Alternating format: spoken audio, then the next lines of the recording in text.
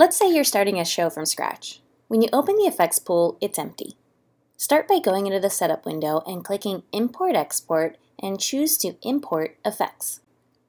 If you click on the predefined effects library and import it, the console will populate your pool with some ready-made template effects to get you started. Since template effects can be applied to any fixture, you can audition them on any selection at any time. When I find one that I like, or it's close to what I want, I'll copy that effect and apply my lights to the copied effect and then edit this copy. I might be doing this to create a slightly modified template effect, or maybe I'm working on making a selective effect to use in one of my songs. Either way, I'm a big fan of making copies and tweaking the copies. Don't forget to label it.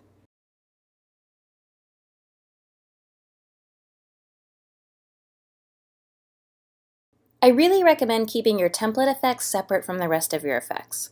You might end up with a really large collection of template effects that you want to use in all of your shows. Maybe you even want to go a step further and organize them by attribute type. Either way, I end up writing two views. One view is my effects starter. This puts me right at the top with all of my template effects.